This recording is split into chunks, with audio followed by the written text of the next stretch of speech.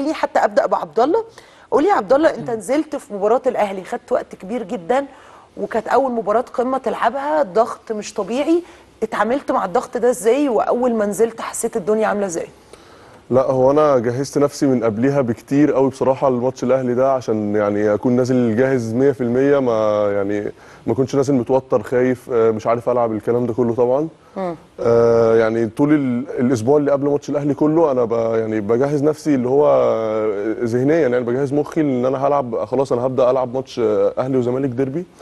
فالموضوع طبعا هو مش سهل خالص على إن واحد جاي يعني من من برضه من يعني من طيران للزمالك. نادي كبير زي الزمالك بينافس على الدوري. بينافس على كل البطولات. ونادي آه، جماهيري انت آه. بقى يعني بتنزل ضغط مش يعني. عايز آه يعني بتحاول على قد ما تقدر تقلل الغلطات وت... وتركز في الماتش.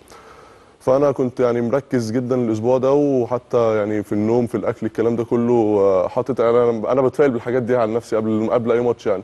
النوم كويس الأكل كويس الكلام ده كله أنا مظبطه بحس إن أنا هنزل ألعب كويس يعني.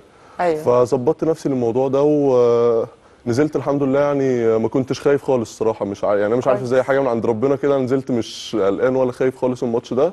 آه، حتى أول كرة خدتها أنا رحت شطها وهي ضاعت. لكن بعد كده الكرة اللي بعدها شطها والحمد لله كان في توفيق يعني جت جون. فكنت مجهز نفسي قبليها يعني والحمد لله ربنا كرمني في لعيبة عندهم جرأة تخوفك. جرأة بتبقى يعني إيه ما هي الجرأة سلاح ذو حدين.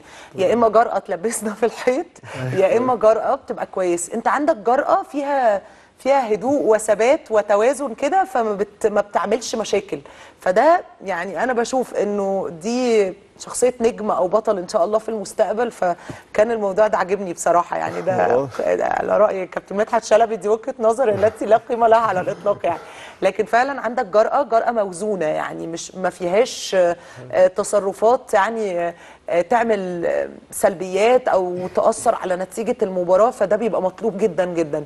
ودايما مباريات القمة بتكون أنا بشوف إنها مولد نجم. فيعني أنا بشوف إن إن ما شاء الله أنت وأحمد سامح وعبد الغني زياد حشاد مش عايزة أقول أسماء وأنسى أسماء المباراة اللي فاتت والمباريات اللي جاية هتكون مولد نجم.